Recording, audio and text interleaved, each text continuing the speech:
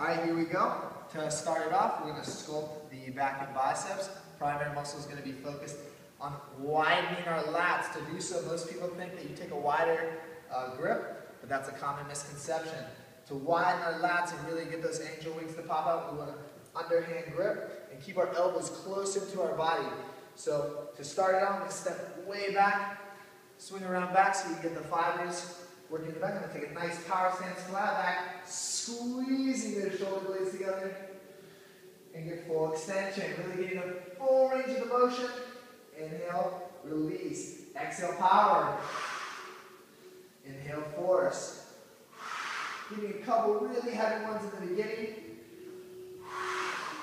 And then I'm going to come from my level one. I'm going to take a couple steps forward because I'd like to work a little bit more on the functional training.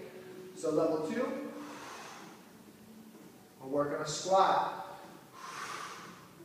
Really still squeezing into the shoulder blades. Level three if you like. You can incorporate balance. Coming down. This is where the yoga comes into play.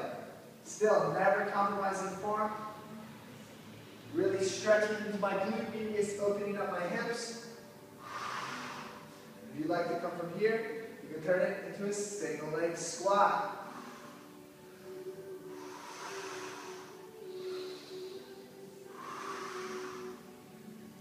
Good. You want to make sure that you do the other leg for balance.